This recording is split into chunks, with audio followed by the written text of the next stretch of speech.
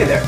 Uh, uh, I'm sorry to inform you that Alex can't make a video this week because uh, he has finals to work on it, and he's very sorry, but uh, you know, uh, these things happen. So, uh, you know, I I just need to inform you